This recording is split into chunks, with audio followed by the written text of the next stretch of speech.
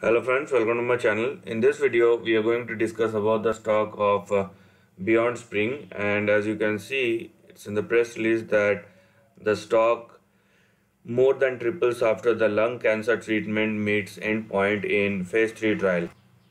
Now let's open the press release and check what's there. The share more than tripled on heavy volumes. I don't think it's accessible right now let's open.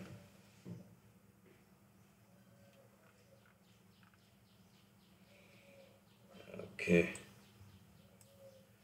Here we are.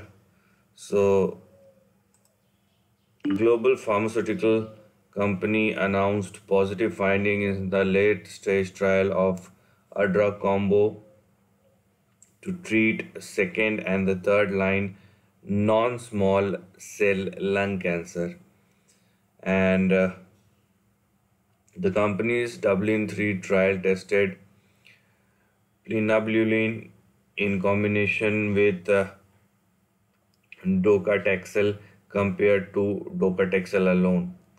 So findings indicated that the drug combo boosted overall survival among other secondary endpoints.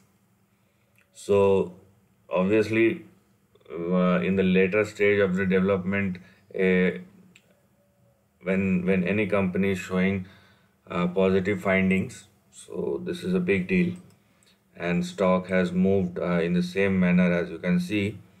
So this is the chart of uh, BeyondSpring inc now from the lows of uh, 9 9.2 9.3 it moved all the way up to 26 dollars now as far as the chart is concerned so this is the lower end of the range. And this was the higher end of the range. Right? So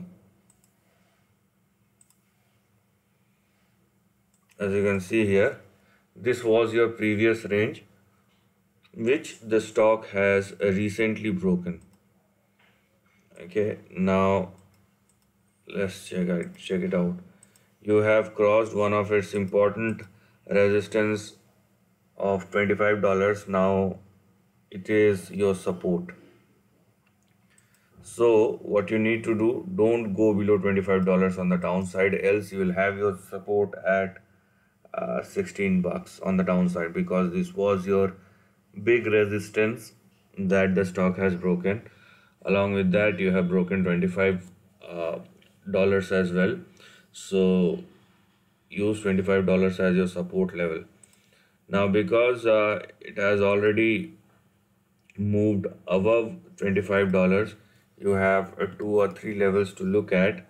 And uh, that will simply start with uh, EVA 34.25 and you have big target of $45 on the upside. So this is the end of the video. Thanks for watching